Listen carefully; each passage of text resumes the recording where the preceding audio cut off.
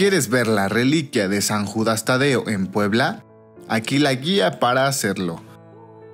Llegará a la capital de Puebla la reliquia de San Judas Tadeo, una pieza bendita que consta de un fragmento de hueso del brazo de este santo.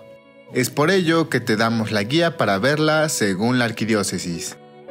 La reliquia estará en la catedral desde el martes 27 hasta el 29 de agosto del 2024, por lo que a partir de esa fecha estará expuesta al público desde las 9.30 hasta las 11.45 de la mañana y de las 12.45 a las 6.45 de la tarde.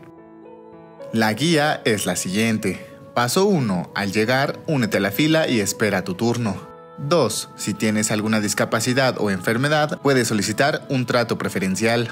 Paso 3. Aprovecha el tiempo en la fila para orar y pedir la intercesión de San Judas.